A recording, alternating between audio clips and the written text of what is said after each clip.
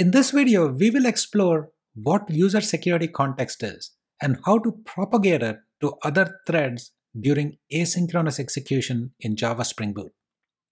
But first, let's start with synchronous execution.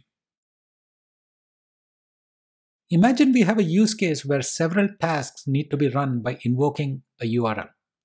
In Spring Boot, we can quickly create an endpoint called slash run tasks, as we see on the screen, create a mapping, and then return the result. I'm not showing all the code, you can imagine the rest. Here, all the activities related to the run tasks method are synchronous.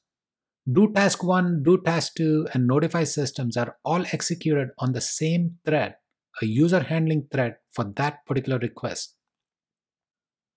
Now let's say you would like to implement the notify systems method in the background. The run task method should simply initiate the notify systems method, but not wait till it completes. This is where it is convenient to use the at async annotation of Spring Boot.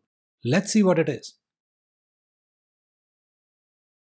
So here we create a new Spring Bean called async service, which is annotated with at service. The method notify systems is annotated with async because we want the method to be run on a different thread from the calling thread. In our example, the demo controller will call it. Let's see how. So here's how the demo controller class will call it. It will simply auto-wire the async service right over here, and then call the method from within the run task method right over here. Now don't think about this call as a simple method call. Add async annotations on that method does some magic behind the scenes. Spring Boot introduces a proxy in the middle, and when async serve.notify systems is called, the Spring Boot proxy will make sure that the code is actually executed on a different thread but the proxy method will immediately return, making it asynchronous.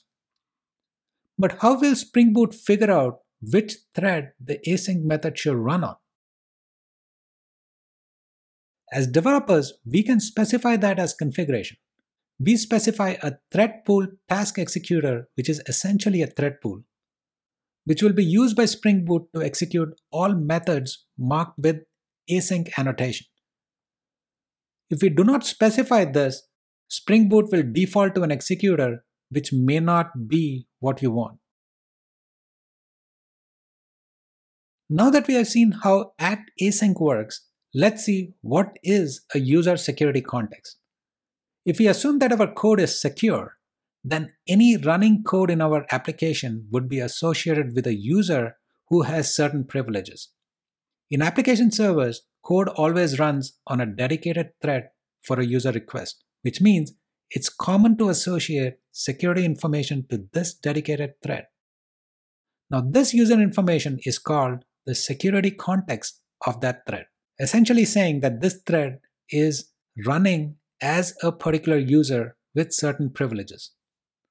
Now, Spring Security makes sure that after the authentication of a user, an object of type authentication is set in a security context object for every request, and it is stored in a thread local of the thread which is handling that particular request. A developer can access this authentication object. One way to do this is to simply auto-wire as a method parameter, and that's exactly what you see on the screen, right over here. Now, another way we are going to see that later on is to use a class called security context holder. Now here we assume that we are running the code with default implementation of security by just adding Spring Security jar to our pom.xml. In practice, the principal object which we are casting to user needs to be cast to the correct class depending on the type of authentication, whether we are using OAuth, JWT, SAML, and so on. Now with this technique, the principal and the roles can be accessed for authorization within our run tasks method. But will the above technique work from within the async method? In this example, the notify systems method. Note that in the example here, we are using security context holder class directly to get the authentication object and not auto wiring it. That's another way to get the authentication object. But the answer to that question, whether this will work here, is no. The variable authn will be empty, that is, it's going to be null. Why, you may ask? Recall that this method will be executed on a different thread. We know that Spring Boot sets the authentication object of the user in a class called security context for the user handling thread. But by default, this security context is not propagated to the thread which is executing the async method. That's why if we were to get the authentication object as you see on the screen, we will see that that authentication variable is null. But we would like to be able to access the security context from within the at async method. It definitely helps in any kind of authorization we need to do in that thread. So how can we do this? In order to propagate the security context to the thread which runs the async method, we should use the delegating security context async task executor. That's a mouthful. We see that on the screen. With this simple change, the security context will be propagated to the async thread as well. We can access the authentication object from the async thread just like we did before. But you might be thinking here, how did this magic happen? Let's take a look at it. What exactly happens when we use the executor delegating security context async task executor? In order to understand that, let's take a look at the diagram on the screen. I love these diagrams. It makes things a lot clearer. On the right side, we see a thread pool called task executor in which one thread is shown, thread 1. There are other threads as part of the pool which are executing other async methods, but they are not shown in the diagram. On the left side, you see a thread representing the user handling thread. And the run task method is called on this thread. Recall that every user request will have one such user handling thread associated with it which services the request. Spring Boot correctly sets the security context for the user handling thread as part of the Spring security authentication. We know this.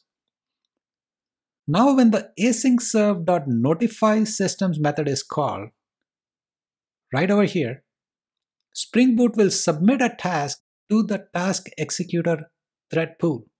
In our example, that task gets executed on thread 1.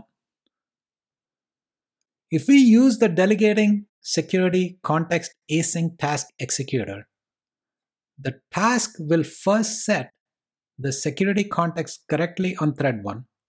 It basically copies it from the user handling thread. Now this is marked as 1 right over here. After that, it will proceed to execute the notify systems method marked as 2. And then finally clears the security context marked as 3. It's important to understand that thread 1 is a thread which is continuously handling other tasks as well. So setting the security context and later clearing it guarantees that the user security context is available only for that method call of notify system. The next task which is run on that thread 1 cannot see that security context. I hope this gives you a good idea of how to propagate the user security context when using at async methods in Spring Boot. If you like this video, give a thumbs up and don't forget to subscribe to this channel for more such quality content.